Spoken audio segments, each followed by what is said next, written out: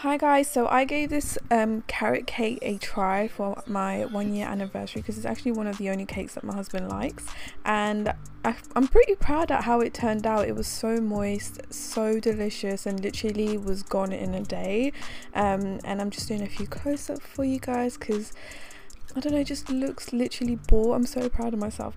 Now it all started with my sister rearranging my whole setup because she said it was so messy so there you go guys. Um, and then I started off with two 10 grams of plain flour into a sieve one and a half um, teaspoons I would say of cinnamon. Then I did half a teaspoon of baking soda and one and a half teaspoons of baking powder just to give it a nice rise. So just want to sieve that all through. I find this part really satisfying. I don't know why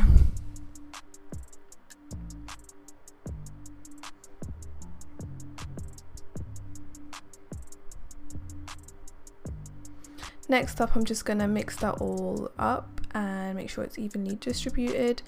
And here I've grounded up some walnuts to add to the mixture. You want to make sure it's finely grounded. I use my smoothie maker to do this. And just give this a good mix. Now the recipe I use which is by Cupcake Jemma of course will be linked in the info box. Her recipes are so so good honestly now I'm going to go into the wet ingredients. I'm using three eggs, well not completely wet, what am I talking about? And then some caster sugar. I used 240 grams of caster sugar guys and I'm just going to use 225 mil of vegetable oil and slowly add that in just mixing this well with my electric whisk now I did halve the recipe guys because I'm not gonna bake a cake for a shop right? So halving the recipe was also a lot. So yeah you can do this too guys. We'll make the whole cake if it's for a special occasion. So now I added my finely grated uh, carrots quickly mix that in and now I'm adding my uh, flour mixture. Uh, and I just halved it so that it doesn't go everywhere. Now the mixture looks quite different to what I've ever worked with but trust the process guys trust the process. And I try not to mix it too much with my whisk to like remove all the air. And I'm just using my spatula to kind of make sure that it's all evenly distributed because sometimes flour stays at the bottom or some of the mixture stays at the bottom. And it should look like something like this so now I'm buttering and flouring my cake pans, which actually didn't work in the end. I usually always do this, but with this mixture, you have to put um, baking paper at the bottom and then it just slips right out. So when I made this the second time, because everyone loved it that much, um, it worked better like that. And I'm just evenly distributing it between the two cake pans. These are eight inch cake pans and I'm using these uh, things on that side so it's nice and moist on the edges got these from Amazon and I'm going to put this in the oven for 25 minutes at 175 degrees Celsius. Now onto the cheese frosting. Um, I'm going to use some butter here and it, it was hard to get to room temperature because it's quite cold at the moment but you want to whisk your butter until it looks like something like quite pale and fluffy I would say, something like this. So as you can see it's not as yellow then I'm going to use some Philadelphia cream cheese, which is obviously the star of cream cheese frosting. And I'm going to quickly whisk this, scrape the edges to make sure everything's getting into the mixture. Give it another quick mix. And you don't have to do this for long, to be honest. Now I'm going to put my bowl on a scale and measure around 500 grams of icing sugar. So I do it in two. So I'm doing 250 here roughly. And then you want to mix this on low, you're bound to get it everywhere. I mean, it's just inevitable with icing sugar. I'm, I literally feel like I'm breathing the icing sugar right now. and then um, mix it and then do another, um, do another 250 grams of it. And yeah, it just becomes really nice and thick. And I'm quite proud of my um, cheese frosting because last time I tried to do this, it was a major flop on my red velvet cake.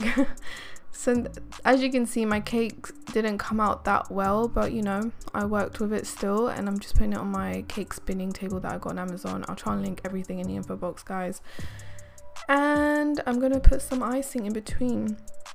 Now you just want to be careful especially if you've got like broken pieces like me but the icing sugar helps to keep it like glue it all together.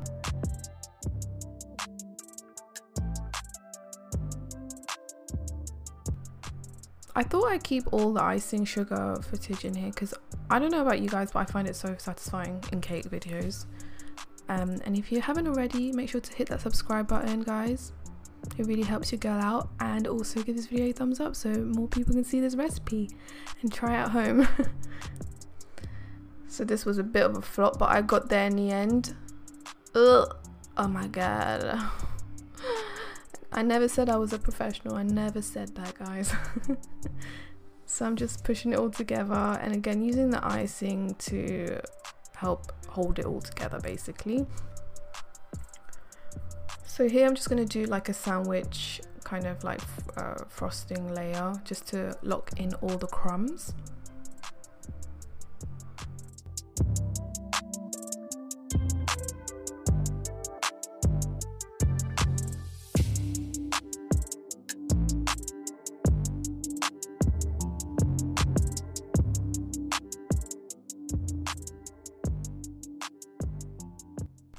I then put this into the fridge to chill for around 30 minutes and now we can do a full nice layer of the uh, icing and I did a nice thick layer. I wanted to I didn't want it to look neat. I wanted to to look like homemade, you know, so just rough around the edges kind of thing. And I also grounded up some more walnuts and I kind of pushed this onto the edge. But yeah, you always if I didn't do the crumb coat, I would have had crumbs everywhere. So it's important to do that first layer with this cake. And here I'm just pushing in the walnuts. It just added a bit of decorations and my, my husband actually loved the edges like with the walnuts. It's so weird. I never eat the edges of a cake. I don't know if anyone else does that. I just eat the middle part and leave the edge. It's so bad. So yeah, that's what the cake looks like. I had to use this bloody axe to cut my cake. There's no knives left in the drawer. They're all in the dishwasher. But look how beautiful my cake is. I was so, so pleased, honestly, considering the fact that it was all broken in some areas. Um, but yeah, don't give up if your cake doesn't turn out good in the middle. Just keep going to the end. It actually comes together, you know. But look how moist it is. Everyone loved it in the house, guys. It literally disappeared the next day. It was so, so yummy. Definitely uh, recommend you guys trying it out. Tag me on Instagram. And yeah, I love you guys so much. Thanks for watching and I'll see you in my next video. Bye.